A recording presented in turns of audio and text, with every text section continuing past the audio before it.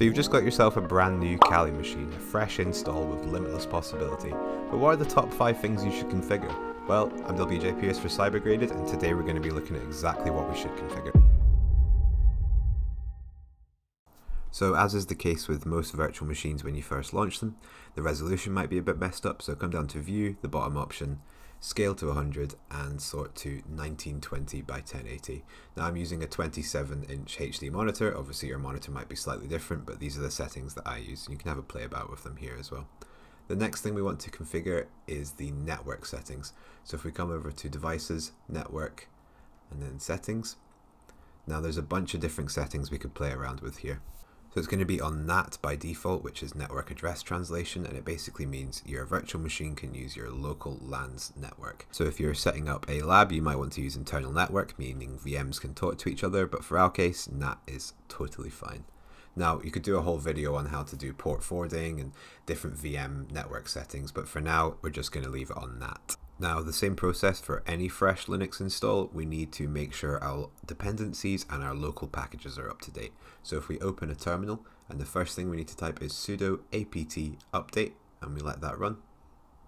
And don't be alarmed if yours takes a lot longer than this, I'm about to cut out a section so you don't have to watch a loading screen. Now that's all finished, we need to run sudo apt upgrade hyphen y, and the hyphen y is just going to say yes to everything so we're not having to sit at the computer and hit yes, because this does take a while, this one, so again I'll cut. We are now going to install git, and we do this with sudo apt hyphen get hyphen install space git hyphen all. You will see when I try to download it, it will error out, and that's because I already have a copy of Git installed. And I'll show you that with git hyphen hyphen version. Now you're probably thinking to yourself, well, I'm not a programmer, I'm not going to be committing any local code to any remote repositories, I don't really need Git. Well, let me tell you, it's actually a really useful tool to have even if you're not a programmer.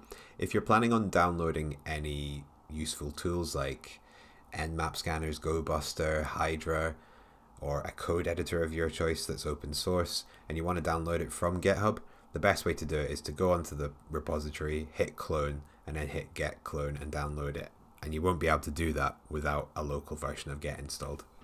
So here we can see I'm just downloading the Nmap repository and you can see it will appear on my desktop. And to run Nmap, we need Python, but don't worry, Kali already comes with Python. Python hyphen hyphen version, and we can see that it's pre-installed. Now we've done what I consider to be the essential things when first launching a new Linux VM. We can now go in and set ourselves a low privileged user, and we do that with sudo add user and then the name.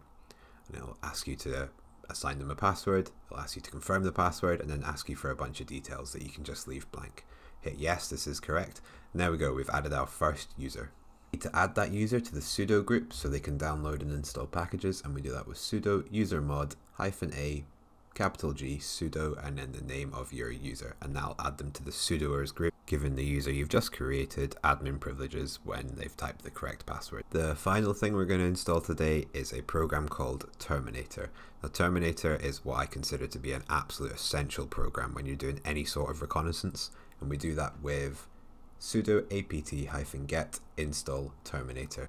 Now, if for some reason this errors out the first time you try it, sometimes it does, sometimes it doesn't, I could not tell you why, just try running sudo apt update again and that should resolve your problems.